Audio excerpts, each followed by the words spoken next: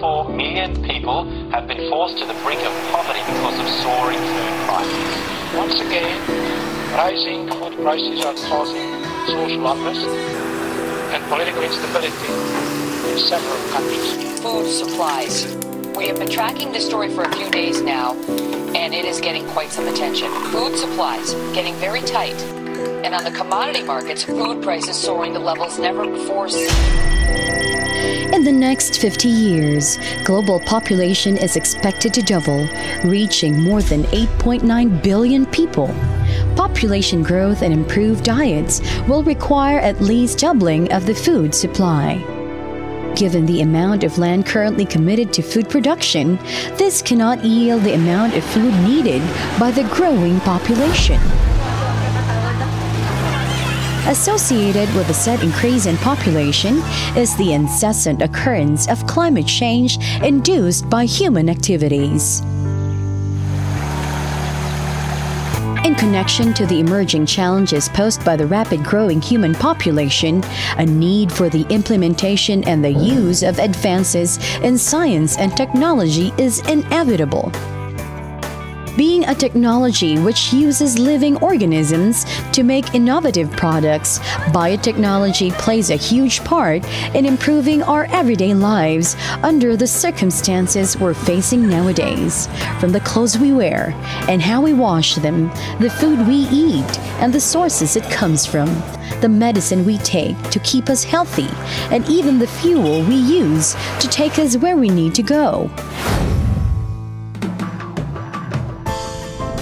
Biotechnology definitely plays an enormous impact in enhancing quality of life and responding to society's grand challenges of undertaking an aging and ever increasing population, healthcare choice and affordability, climate change, and energy shortages.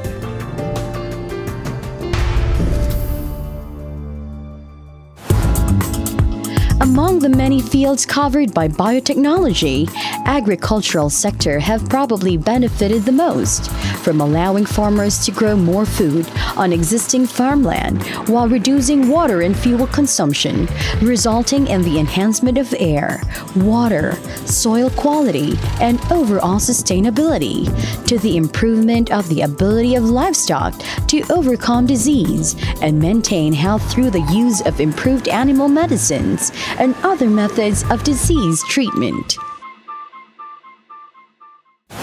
Livestock biotechnology provides a solution to the increasing demands for quality and safe milk, meat, and other animal byproducts.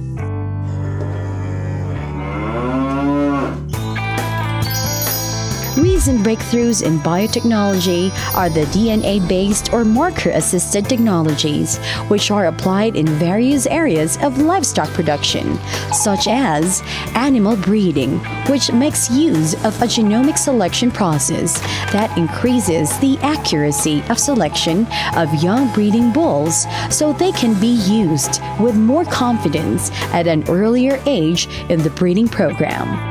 Thus, with an increased selection accuracy and shorter generation interval, genetic improvement will be faster. In addition, screening for the genetic defects through DNA technology ensures production of animals with outstanding fertility, performance, and productivity.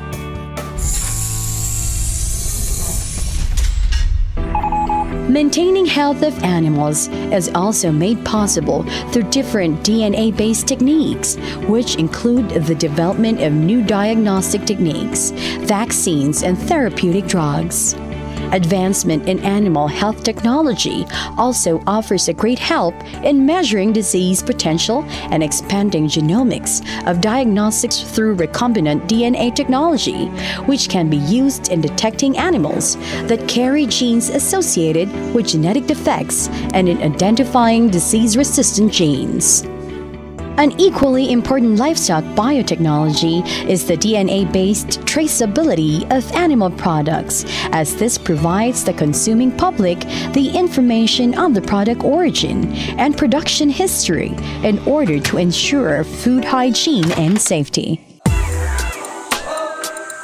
Meanwhile, wide arrays of modern reproduction technologies, including in vitro fertilization and embryo production, oocyte and embryo cryopreservation, intracytoplasmic sperm injection, ultrasound guided ovum pickup, superovulation, and embryo transfer, are known to be valuable in livestock production for maximizing the potential of outstanding females for reproduction. On the other hand, semen cryopreservation and artificial insemination are technologies that capitalize on superior males for genetic improvement in livestock. In recent interesting development in livestock reproduction is the use of sex-sorted sperm to produce offspring with predetermined sex for dairy.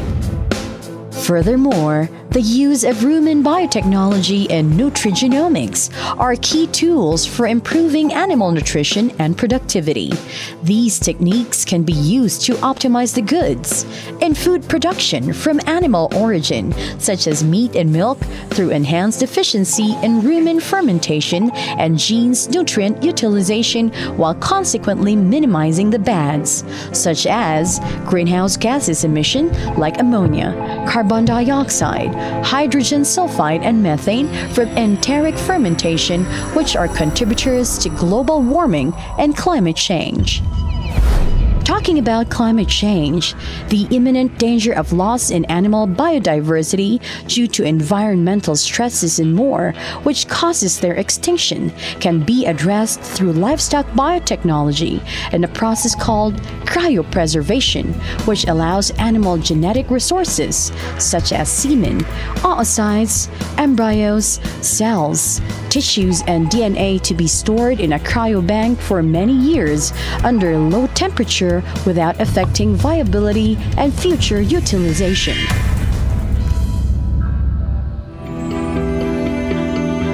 These are just some of the many significant processes in livestock biotechnology.